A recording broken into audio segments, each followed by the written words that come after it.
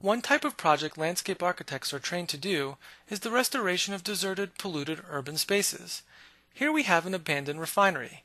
As with many locations formerly used for heavy industry, the soils are contaminated and debris and garbage are strewn around the area. Due to residual toxins and biohazards, it is unhealthy for the general public to interact or even approach these sites. These places are called brownfields. Restoring these sites is not that complex. First, garbage and debris are removed and relocated. Wood, concrete, and other materials are removed and recycled as best possible. With the site cleared of debris, bioremediation can begin. Bioremediation is a process by which select types of vegetation are seeded into the contaminated soil. As the plants grow, the toxins are leached out and the soil becomes healthy. The plants are actually nourished and thrive on the pollutants.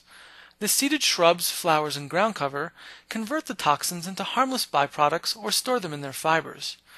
Over time, the vegetation starts to cover the entire site purifying the ground underneath. The habitat and soils are slowly returning. Plant types are chosen based on the type of toxins and contaminants found in the soil. The end result is striking. The once abandoned site is filled with vegetation and robust, healthy soils. The last phase in reclaiming the area is redevelopment.